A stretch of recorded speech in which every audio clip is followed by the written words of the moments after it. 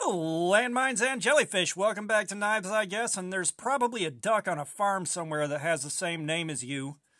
So, whilst on my long sojourn home from my place of employment, I decided to stop by Walmart, and the first one I stopped at had nothing of interest. However, the second one finally had them. We have got the Ozark Trail Axis Lock Knives. Now, they call it the shaft lock, but the last time my shaft got locked, I barely made it out of the misses.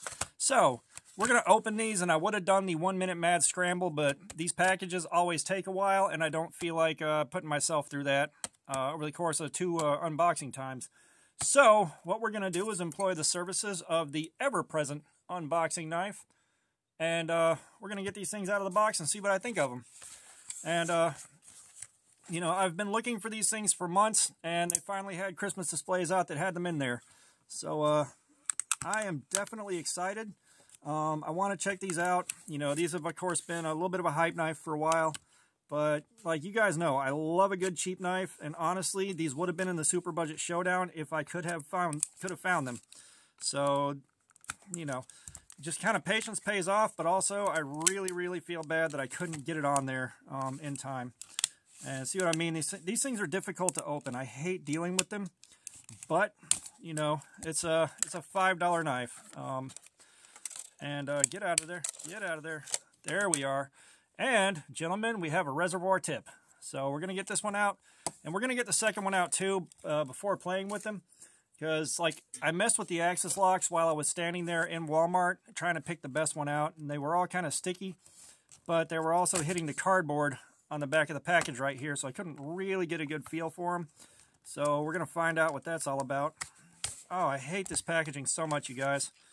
I legitimately do. Um, it's no fun. Like, they, they could have done something that you could open. Um, but Walmart is also, like, the king of being shoplifted, so I can't understand why they didn't. But, time! Okay, so, let's take a look at these and see what my first impression of them is. But, uh, you've got this right here. You got a uh, an axis lock. You got thumb studs. Uh, your blade, give or take three inches long. The blade steel is not marked. Let's look at the back of the packaging and see if there's anything there. Um, four inch polypropylene handle, um, and I will say it's very lightweight. Uh, three inch stainless steel blade, shaft lock, pocket clip, and uh, that's it. So there's no specs on the steel. I'm going to assume 3CR or something along those lines. But, uh, you know, it's a $5 knife. How much can you expect? All right, let's, uh, ooh, this thing is stiff. My God. Wow. So the axis lock at full open locks up against the, uh, the flipper tab of the blade and uh, keeps it from opening. Like, that is, uh, yeah, you see that? It just locks up. So, not impressed with that so far. Um, let's try to flick off the thumb stud. Let's flick the bean. Eh. So it did flick off of the thumb stud, but it still feels really gummy. Um, so this one, it may be just a bad one or a bad from a bad batch, but right in here, let's see if we can get some better light on it.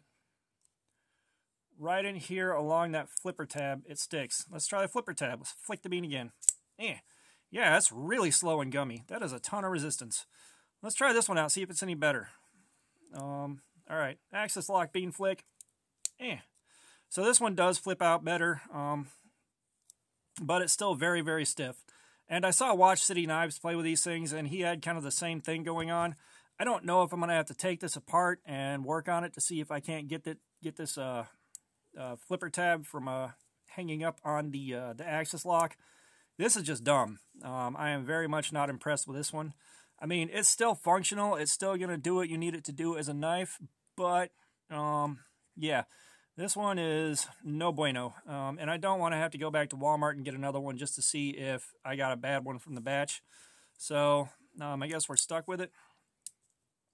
And uh, yeah, it just locks up against this thing. This is just, ah, I'm so disappointed with this one. So uh, we got this disappointment that I may not mess with at all. But this one's a little bit better. Let's flick this thing open again. Eh, it is so, so stiff. Uh, let me see if I can see if we got bearings in here.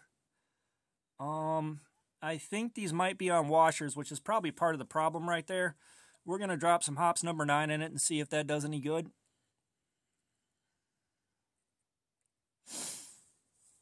So, yeah, like, I get it. $5 axis lock. However, let's uh, see what the oil did. The oil's got it working again a little better.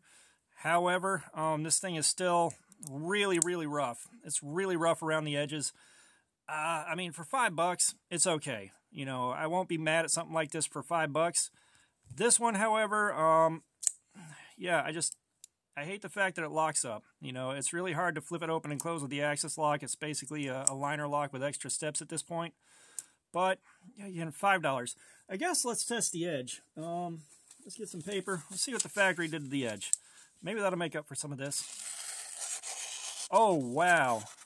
So, there's a bit of a, an edge problem in the middle here, but Jesus. Yeah, this thing is sharp.